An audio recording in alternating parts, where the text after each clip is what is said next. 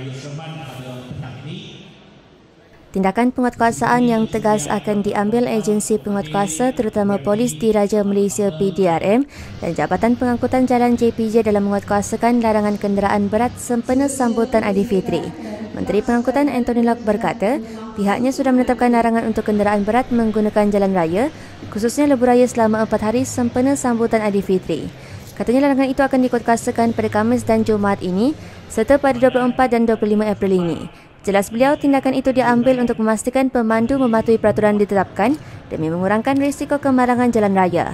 Beliau berkata demikian kepada pemberita selepas majlis penyampaian bantuan Aidilfitri dan majlis berbuka puasa di Dewan Majlis Bendera Seremban MBS di Seremban pada Isnin.